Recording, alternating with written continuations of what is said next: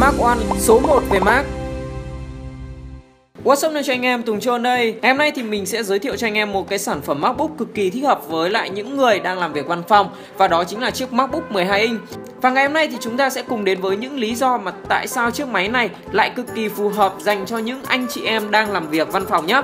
Lý do đầu tiên đó chính là em nó mỏng, nhẹ và vô cùng đẹp. Có thể thấy mỏng và nhẹ là yếu tố quan trọng nhất của một cái chiếc laptop dành cho dân văn phòng và chiếc MacBook 12 inch đáp ứng tốt được điều đó. Chiếc MacBook 12 inch này chỉ nặng chưa tới 1 kg và đây là trọng lượng của một chiếc máy tính bảng và cái điều này thì sẽ giúp cho anh chị em văn phòng có thể linh hoạt di chuyển em nó trong cái quá trình làm việc. Chưa kể đến việc là em nó thực sự rất là mỏng, chỉ 1,3 cm và anh chị em văn phòng có thể thoải mái đặt trong bất kỳ một cái chiếc cặp nào mà không bị cộm hoặc là dày lên.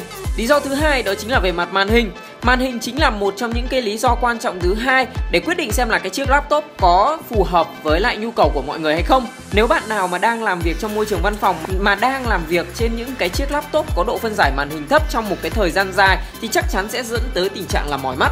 Còn đối với lại chiếc MacBook 12 inch, với màn hình Retina có độ phân giải là 2304 x với 1440 pixel đây là một cái màn hình có thể nói là cực nét đối với lại một sản phẩm 12 inch. Và có thể nói cái màu sắc của em nó là cực đẹp. Và góc nhìn nó sẽ không bị thay đổi kể cả khi các bạn nghiêng ra các góc. Và chính vì cái màn hình này sẽ giúp cho anh chị em đang làm việc văn phòng sẽ có một cái không gian làm việc vô cùng thoải mái. Và có thể làm việc trong một cái thời gian dài mà sẽ không bị mỏi mắt. Và nó sẽ thân thiện với lại người sử dụng hơn rất là nhiều so với lại những cái chiếc máy có màn hình độ phân giải thấp. Điều thứ ba đó chính là về mặt hiệu năng. Đối với lại những anh chị em đang xài những cái ứng dụng văn phòng thì có thể nói MacBook 12 inch đáp ứng được rất tốt. Em nó sẽ trang bị trong mình cái con chip là Core M cùng với lại RAM 8GB cùng với chip đồ họa Intel HD Graphics 5300. Với cái cấu hình này thì vô cùng đủ dùng với lại anh chị em văn phòng. Ở Word Excel thì anh chị em cứ vô tư đi. Ngoài ra anh chị em văn phòng cũng có thể chỉnh sửa ảnh bằng Photoshop hoặc Lightroom ở trên chiếc máy này một cách vô cùng bình thường. Điều thứ tư đó chính là thời gian sử dụng pin. Nhờ các nâng cấp về vi xử lý cũng như là GPU và công nghệ xếp pin theo kiểu mới mà Apple đã giúp cho dung lượng pin của chiếc MacBook 12 inch có thể sử dụng lên tới là 9 đến 10 tiếng với kết nối không dây và xem phim nghe nhạc. Như vậy là với một cái thời gian sử dụng cực kỳ thoải mái dành cho anh chị em văn phòng xài điều kiện bình thường thì nó sẽ rất là tuyệt vời.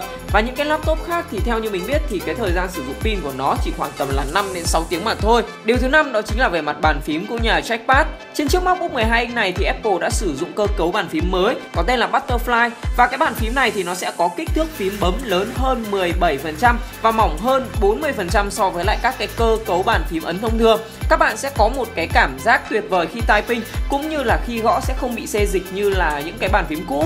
Và với cái bàn phím này thực sự mình nghĩ, anh chị nào mà làm việc với lại Word Excel nhiều thì sẽ có những cái thao tác, có những cái khả năng gõ văn bản là nó ấn tượng hơn. Đồng thời là trackpad của cái sản phẩm MacBook 12 inch này nó có một cái kích thước cực lớn đối với lại một cái chiếc laptop có kích thước chỉ là 12 inch. Chưa kể đến việc cái trackpad này nó được trang bị cái công nghệ cảm ứng lực Force Touch và sẽ giúp cho anh chị em đang làm văn phòng có thể thay thế được con chuột truyền thống mà anh chị em đang sử dụng và chúng ta sẽ không cần phải click kích sử dụng thêm một cái con chuột nữa làm gì cả bởi vì trackpad quá là tuyệt vời rồi Thứ sáu đó chính là về loa ngoài. Mình biết là anh chị em mà làm việc văn phòng thường thì giờ nghỉ trưa thường hay xem những cái bộ phim hoặc là nghe những cái bài nhạc thì cái loa ngoài này cũng là một trong những cái điểm nhấn của chiếc MacBook 12 inch này.